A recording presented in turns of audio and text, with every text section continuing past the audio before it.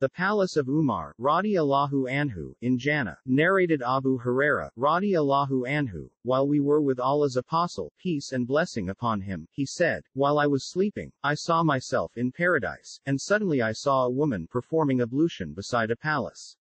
I asked, For whom is this palace? They replied, It is for Umar. Then I remembered Umar's gira, self-respect, and went away quickly. Umar wept and said, O Allah's Apostle, how dare I think of my gira, self-respect, being offended by you? Sahih Bukhari, book number 57, hadith number 29.